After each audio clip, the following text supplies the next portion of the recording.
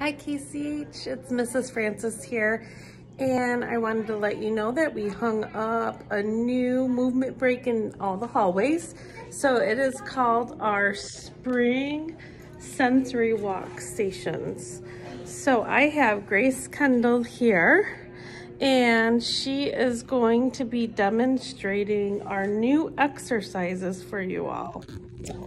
All right, so our first one is five five frog hops.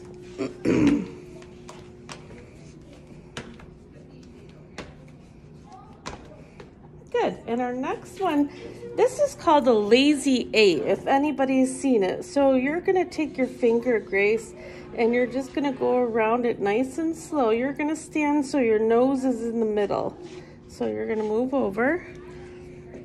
So your nose is going to be in the middle and you're going to trace and you're gonna cross in the middle. Kind of makes an X in the middle. Okay, you're gonna do a couple times with one hand and then you're gonna switch hands.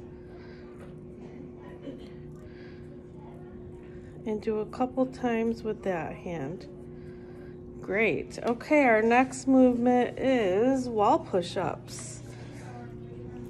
So you're going to put your hands on the wall. You don't necessarily need to have your hands on the picture, but you need to have your feet back far enough so that you can really put your nose towards the wall and then push away.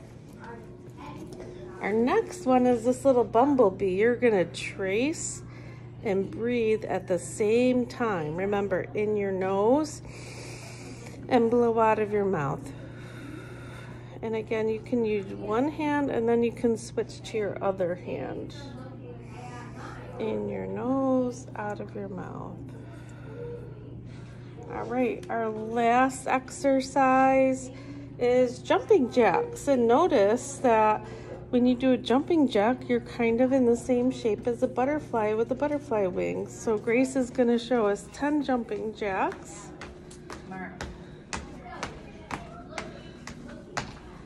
And that concludes all of our new spring exercises. So there's one in the specials hallway.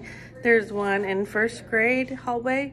There's one in the second and third grade hallway, the kindergarten hallway, and in the hall between uh, the cafeteria and the library.